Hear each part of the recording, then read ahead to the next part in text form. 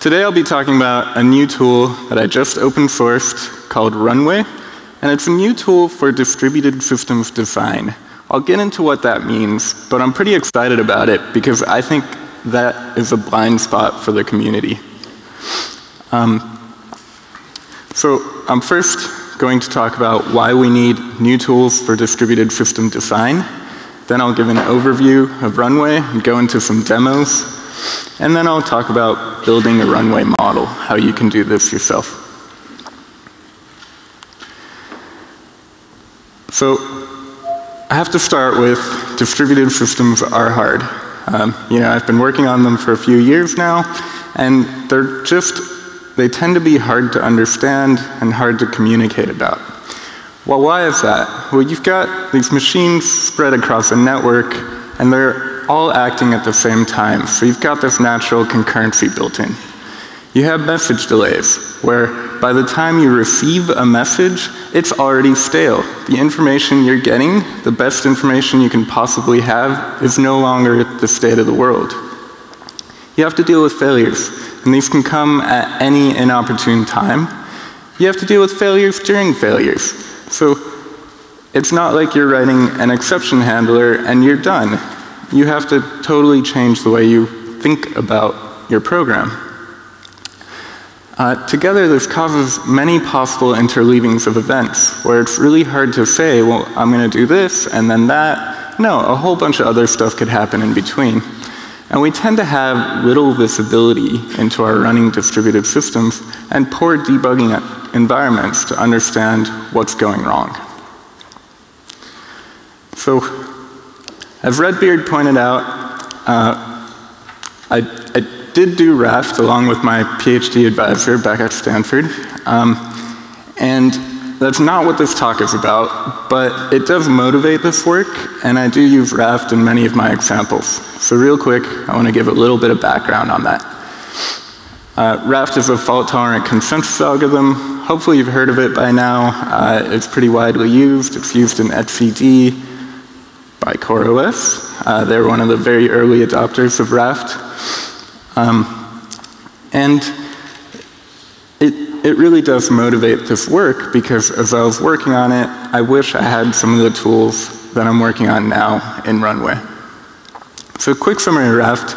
Uh, it's kind of split into two parts. First is leader election, where the, the cluster uses a majority voting algorithm to elect a leader, and there's randomized timeouts there. That'll come up later in the talk. And then once you've got a leader during normal operation, that leader just replicates its log out to other servers. These are called followers. Okay. So here's an example of a really difficult bug in Raft to try to motivate why distributed systems are hard, if anyone here doesn't believe me already. Um, so this is a bug in the commitment protocol in an earlier version of Raft, where the story, you don't have to get all the details, but the story kind of goes like this. That top server, server one, was leader, and it started replicating that yellow entry. Then it crashed. That bottom server became leader. It created this entry, the blue one, it crashed. The top server became leader again. It continued to replicate that yellow entry. And here's where, in the earlier version of Raft, that would have been marked committed. Well, what can go wrong is that bottom server could become leader again and then overwrite the yellow entry with the blue entry, and that would violate the guarantees that Raft provides. So that's pretty hard to spot. I mean, this takes like three, three failures in a row, you have to have this flip-flop between leaders, and, and you have to have all these events interleaved. Like, this is hard to find. It got through a round of peer review where, where nobody spotted it. Um, and, and the point here is like, when you're designing these systems, you can't think about one failure deep. You really have to think through like general, you know, very difficult scenarios um, is this going to work all the time? So, as a community, what do we do to find issues in our design? Well, we kind of do all this stuff on the left-hand side, like code reviews, tests of various sorts, unit tests, randomized tests. Um, and, and this stuff is really too late for the design process. So, so these techniques, they work for finding implementation bugs. That is, I was trying to write the correct code, but in fact what came out in, the, in my text editor was buggy. So we do some testing, we find that bug, and to change that, to fix that, it's relatively cheap. You know, fix a few lines of code, and then we're done. But if you find a design error, this could be way more expensive. Uh, it, you know, it, it, just so happened that the bug in the last slide, the Raft commitment one, that took one if statement. But another design error might cause you to have to refactor your entire program, rewrite the whole thing, maybe. Uh, and it can spread. You think you have a design error here, it, you change it, that might have unforeseen consequences for the rest of your program. So that's expensive. That's too expensive. I think we really need to focus on finding these design problems sooner before we're writing any of our production code.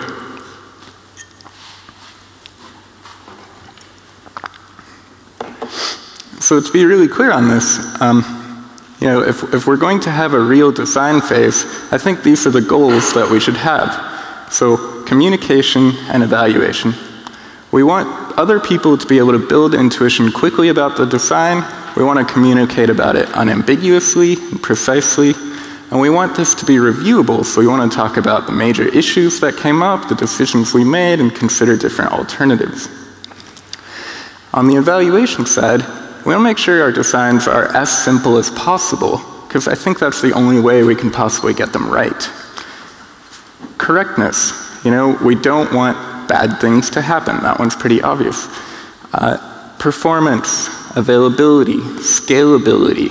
These are all things we care about and things that we should evaluate well before we go and write our production code. But what are the tools we use today? We've got whiteboards, back of the envelope calculations, maybe design docs. They might include some pseudocode.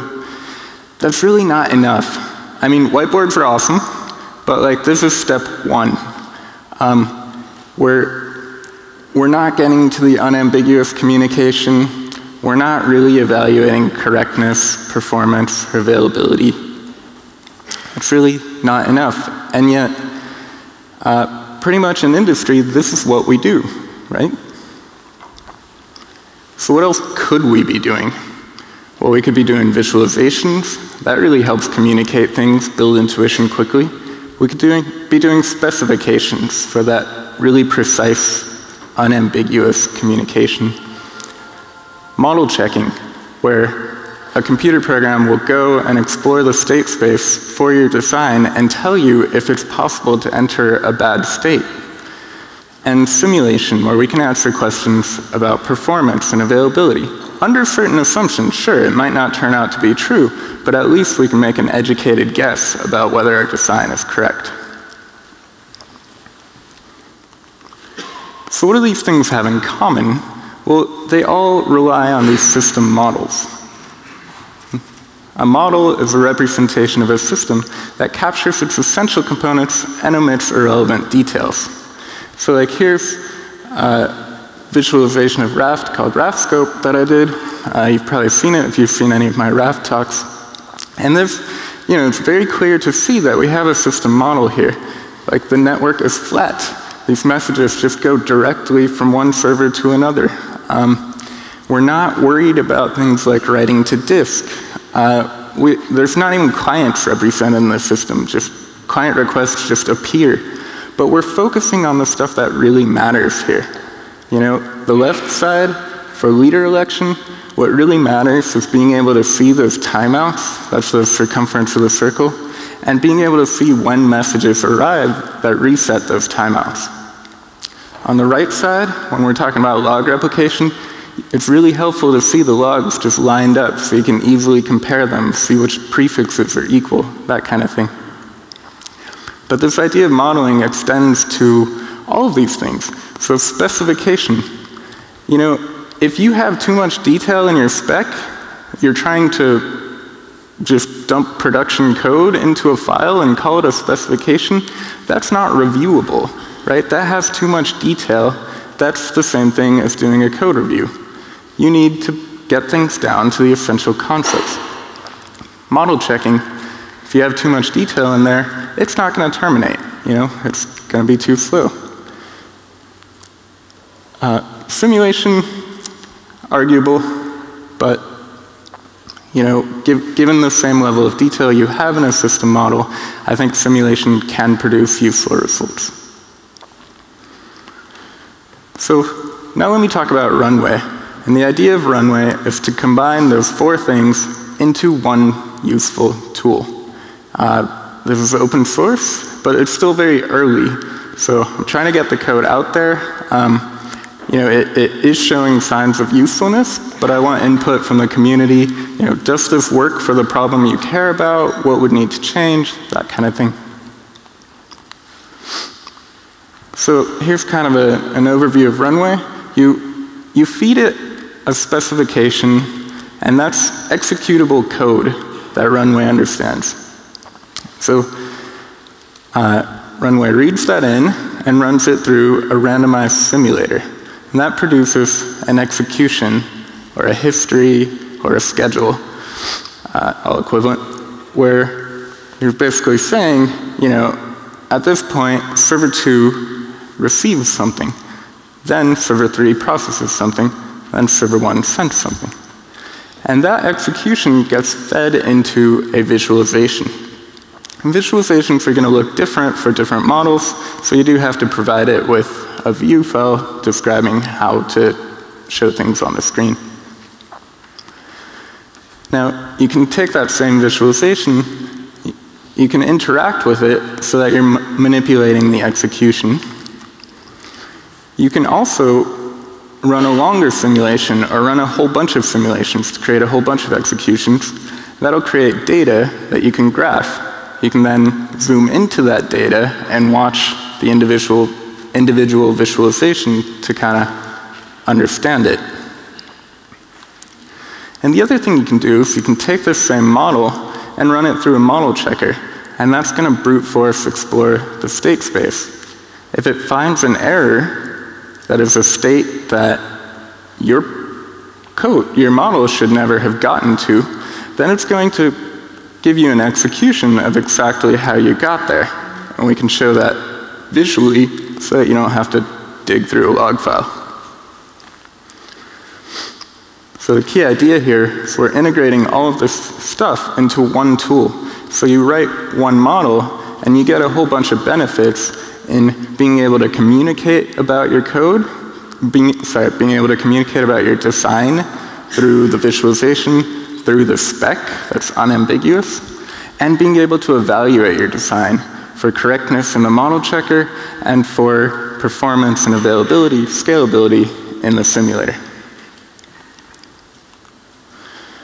So I'll go into a few demos now. I've got three models I want to show you.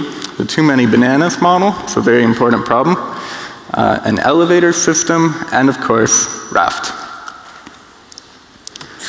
So here's my coworker Bill to introduce the too many bananas problem. He actually encountered this in real life. I like to eat bananas. So the other day, when I noticed I was down to just one, I went to the store and I got six more and that was a good number of bananas. But later that night, my wife, who'd also noticed I was down to one banana, came home with six more bananas. And that's just way too many bananas. I don't think I could eat that many before they go bad. All right, so, so this is a very important problem. It affects the number of bananas wasted on the planet every day. Um, oops. So I, let's see, I just got this running. Uh, the domain is runway.systems if you want to follow along at home. Cool. Uh, and let me load up, let me start with the broken too many bananas model. And this is, this is basically reproducing the, uh, the issue that Bill was describing. So I've got a house here, five roommates. Um, I'm going to just click on one of those, they're all happy right now, but that one's sad. That means it's actually just hungry, but you know, how do you draw that? So that person eats a banana, and then they go happy again. And maybe this person gets hungry. They eat a banana, they're happy again. But now, there's no bananas left at home, so they have to go to the store and bring some back. And Bill's problem was describing, well, what if two people go to the store at the same time? They might bring home too many bananas. So I've set up an invariant in this model that says uh, we should never have more than eight bananas at home. That gets to be wasteful. And I can just run a random simulation. We can watch it. I'll speed, speed it up a little bit. And pretty quickly, we're probably going to see that, oh no. ah, there we go. So that, that might have been a little fast, but uh, I, if my timeline hadn't resized itself, I could probably, yep. So we can, we can slow it down and we can watch that happen. So we, we had all these bananas at home, but actually these people are coming from the store with more. That's going to be a problem. Okay? Luckily, uh, you know, I, I have been thinking about distributed and concurrent problems for a while, and I believe I've solved this problem. I think I've solved the race condition. So here's the correct, or what I propose is the correct version of the model. That you know, just like before, when you're hungry, you have to go to the store, but you actually leave a note now. You just pin it to the front of your house. It says, I've gone to the store. And the rules of the model say that if someone's gone to the store, no one else is allowed to head out. They just sit there waiting for bananas to arrive.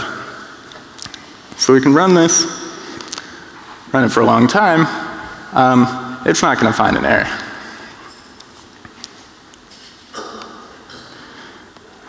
Okay, so, but uh, we'll, we'll, get into the model code for this one a little later. It's about 40 to 50 lines of code, uh, plus the view, which you know, isn't terribly complicated.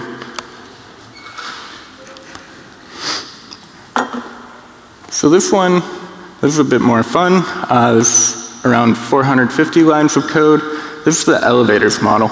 So it's modeling an elevator system uh, we have a nine-story building, six elevator banks. These people on the right, uh, Z means that they're sleeping, and a number means that this is where that person wants to go. And so they call the elevator, they get on it, they take trips. Um, those little dots in the elevator shaft represent where the elevator plans to stop. So uh, this model, by the way, it's, it's not optimal. You know, you could, you could definitely route the elevators better, and pull requests are welcome. Um, but it does pretty accurately model the elevators in my building, which uh, suck.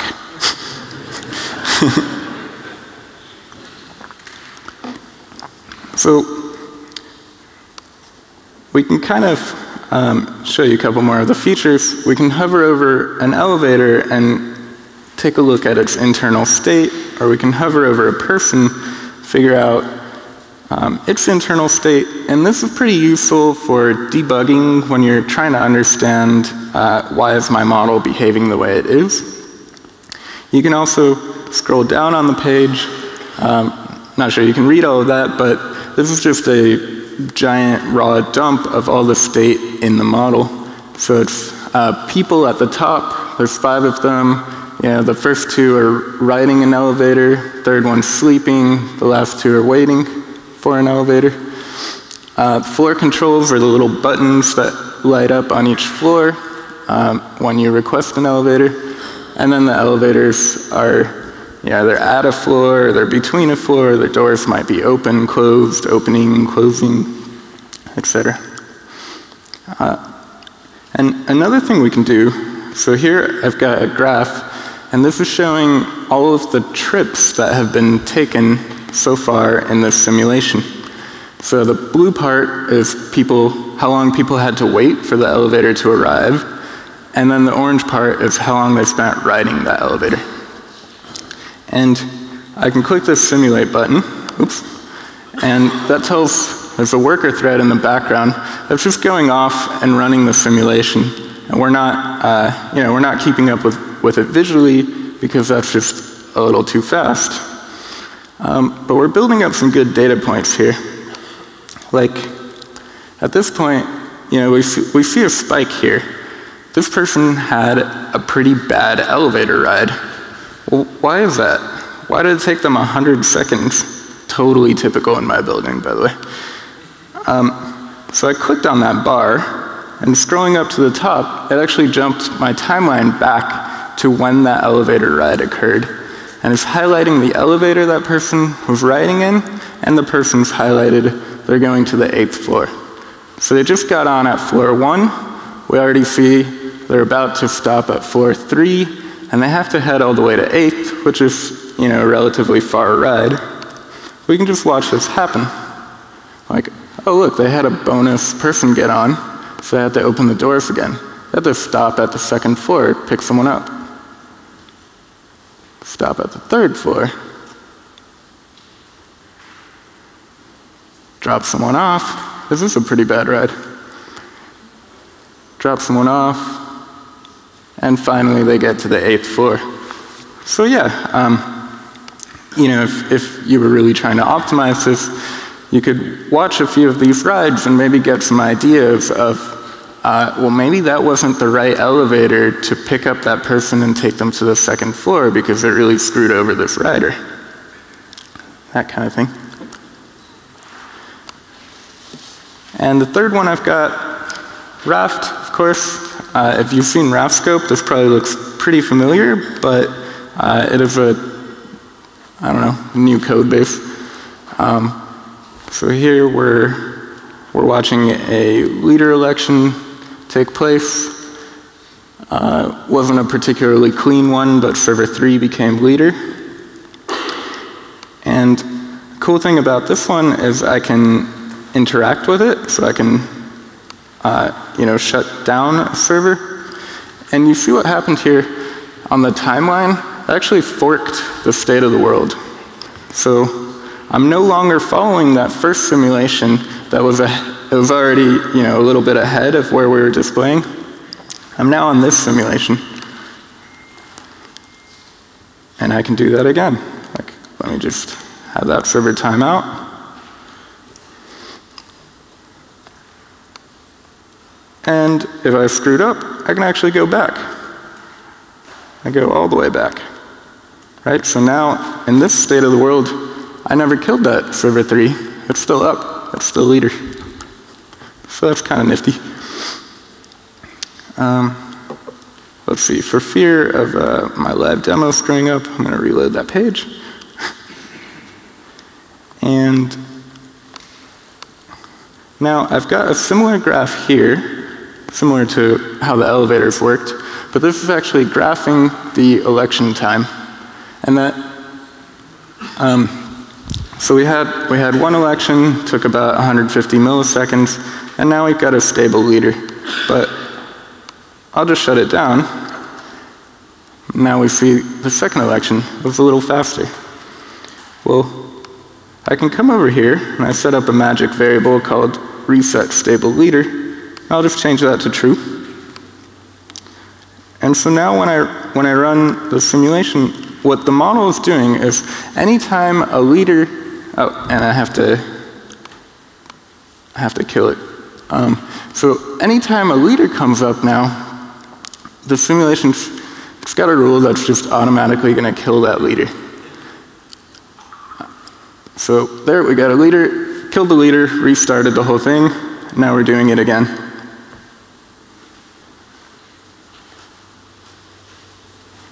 Okay? And so this way we can we can run that in the background and generate a whole bunch of elections really quickly. It's pretty similar to what was going on with the elevator rides, right?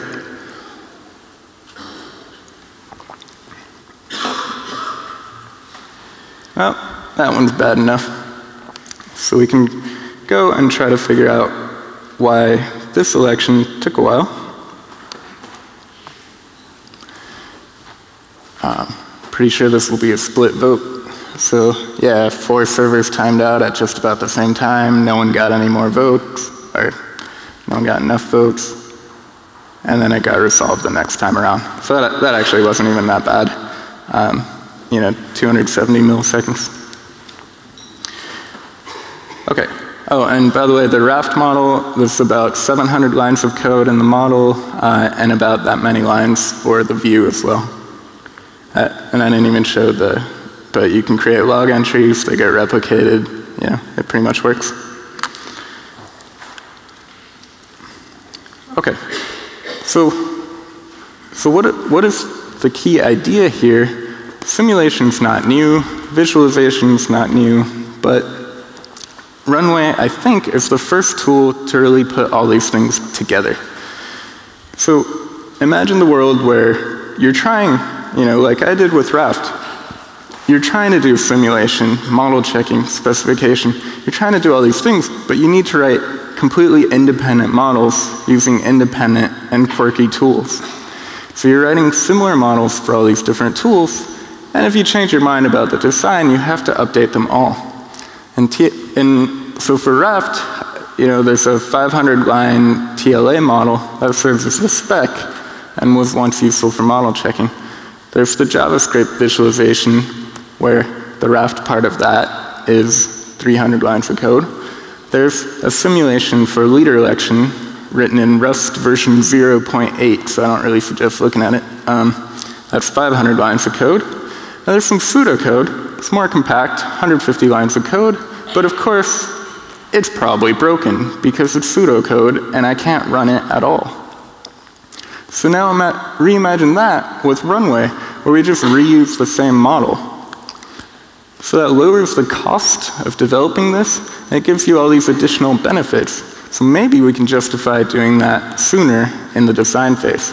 You know, all this stuff for Raft I did after having production code, so I really didn't get as much value out of it as I should have. The other thing is, if we're writing one model and we're using it in all these different ways, we're more likely to find bugs in it. Like, if you're just writing a one-off simulation and all it does is it outputs a number that you decide is good or bad, what if it's buggy? You know, you have no idea. But if you're taking that same thing and you're also visualizing it, you're also model checking it, that should help your confidence. So, and, and the other thing is specification, simulation, model checking, they all benefit from visualization. So if you're writing your spec, having that visualization there gives you a debugger. Um, you can watch the state go you know, you can watch an elevator fly off your screen, and that might make you think about whether it did the right thing.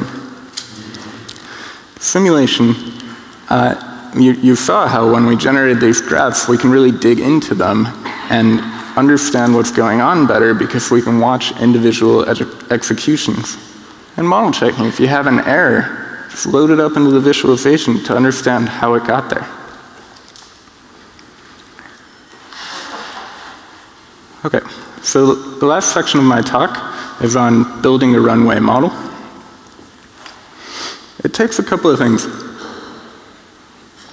The specification, which describes what state there is and how it changes, and the view, which takes the state and describes how to draw it on the screen.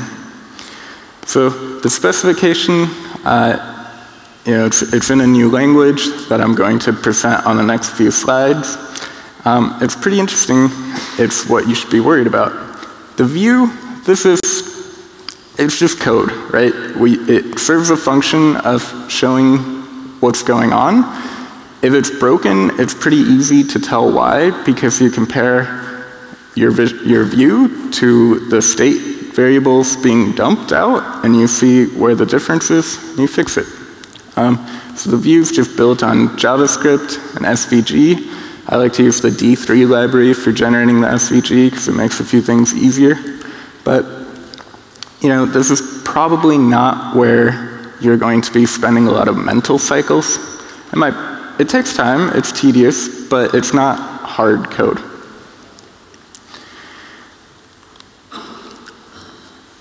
Okay, so how do, you, how do you actually build these two things? Well, I, would recommend taking this approach, which might not be entirely obvious. Um, first, you want to sketch that view by hand, because writing some, you know, drawing on a whiteboard or on some graph paper is a lot easier than drawing in JavaScript. So you, you want to identify the basic design elements. You want to figure out your basic layout by hand.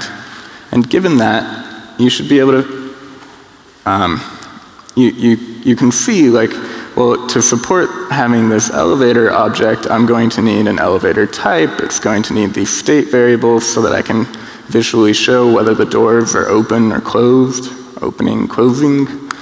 Um, so from that, you can define your types and your state variables. And then you can create a view based on that sketch and using those state variables. And just manipulate the state variables however you need to toy around with your view to make sure it's sort of correct. And then I'd say write invariants for those state variables. So these are properties that must always hold. And if you somehow uh, violate the invariants, Runway is going to report that right away. So you can just catch bugs in your state really early. And finally, write those transition rules describing how the state changes. And you can start with some unrealistic transition rules like, oh, server wants to become leader, it's already leader, and fill in more details as you go. Uh, you can skip intermediate steps and then break up your rules into multiple rules, that kind of thing. And, what, and, a, and a tip here is you know, set a convenient starting state for whatever part of the model you're working on. If you're, if you're working on log replication in Raft, for example, then don't bother with like going through the whole leader election process. Just make server one be the leader, and then you can get to what you want to work on quickly. So what does the specification language look like? Well, First thing to point out is that it is code, code that's interpreted by Runway, um, but it's not the same, you know, you're not writing Go, sorry, you're not writing production, you're not writing in a production programming language. It's a much more limited environment because we're trying to leave out a lot of unnecessary features. So you define a starting state, you define transition rules, and you define invariants that are properties on your state. Uh, this is called a labeled transition system, but it's you know, pretty much a state machine. So rules encode the behavior of how your state gets from A to B. They also include encode failures. So like in Raft, I have a rule to drop a message, a rule to stop a server, a rule to duplicate a message. These are, these are the types of failures that Raft is supposed to deal with, and even given these failures, those invariants are meant to hold. Um, applying a rule is atomic, so the interpreter just applies one rule at a time, and you're not always going to be able to apply every rule. So I can apply a rule all the time, like stopping a server, if it's not already stopped, but I can't really drop a message if there's no message to drop. I can't send a request vote if I'm not a candidate. So you just add if statements within all of your rules describing your conditions. And then a rule is called active if applying it would change the state. And if you don't satisfy the conditions, don't change any state, the rule's inactive. If you've got multiple rules that are active, then the system decides which one to take. So in the simulator, you know, we're making these random choices to show one particular execution. But in a model checker, you want to explore all possible paths to see if any of them might lead you to a bad state. And so that's going to kind of fork and walk the tree.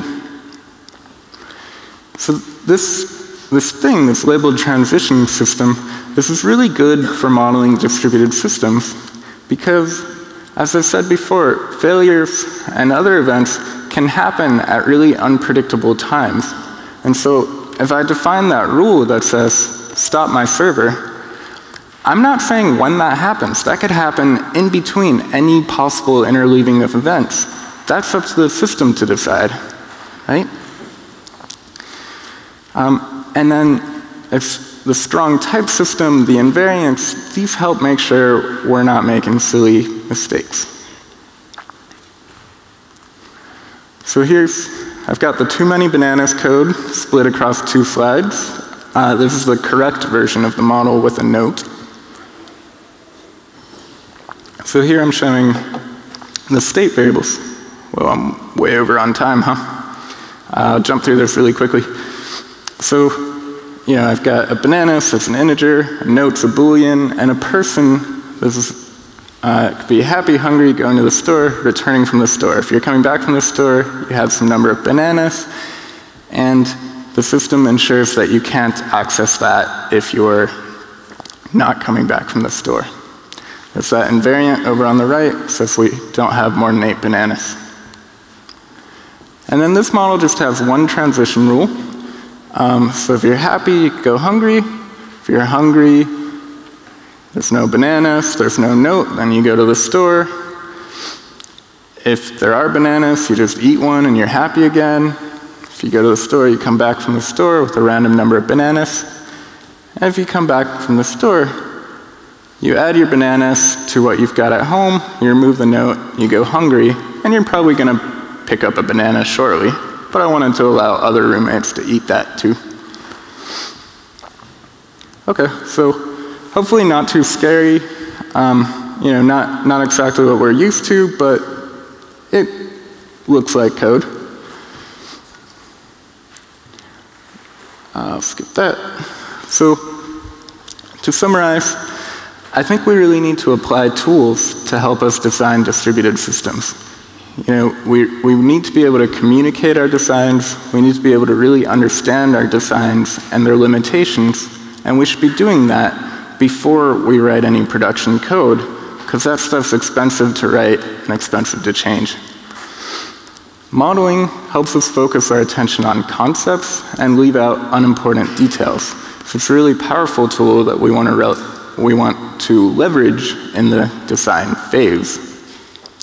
And we, we want to focus on things like failures that really matter to our distributed systems, and not things like programming on a single machine that we're pretty good at and we'll probably get right, at least after some testing.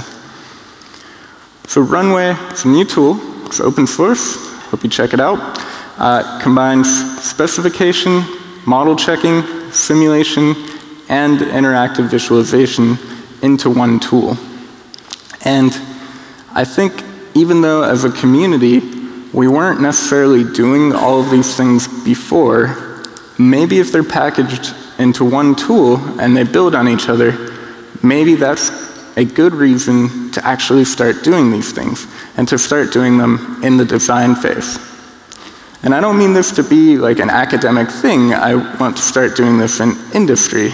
You know, I'm, I'm at Salesforce now. We're applying this internally it's still early. I mean, you, you saw the state the tool is in, but it's already useful. So go look at the models, build your own, help develop Runway. There's definitely a whole lot left to do. And I'll leave you with this, just solve design problems in the design phase. Thank you.